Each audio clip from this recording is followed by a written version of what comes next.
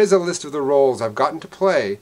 because I was at We Make Movies. A psychology student, a guy on a date, an inspirational MC, an incompetent gynecologist, an underground fighter, Michael Fluffer, an enthusiastic seminar attendee, a skeptical workshop organizer, a sign spinner, a terrible wingman, an arrogant real estate guy,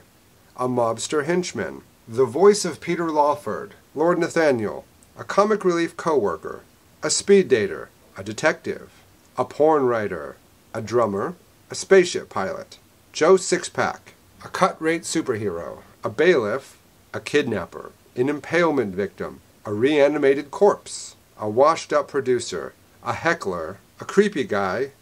a cryogenics facility expert, a UFO investigator, and Joey the Simple Swimmer.